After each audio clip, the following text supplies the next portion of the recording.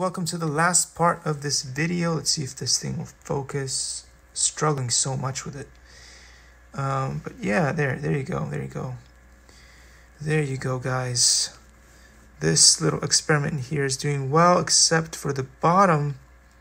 The bottom has a little bit of mold. I gotta fix that before it spreads to everything else. And as I said before, I still have a couple of seeds in there that have not um, blossomed in any way, and so I gotta just just get rid of them. I don't think they will. And I think some mold has actually caught up to some of those. So, anyway, as you guys know, just like life is a box of chocolates, right? Yeah, you never know what you're going to get. And sometimes things work and sometimes things fail. But it's fun to just keep going along and trying new things. And eventually we'll get there. Anyway, thanks for watching. Thanks for sticking by. Another episode Likey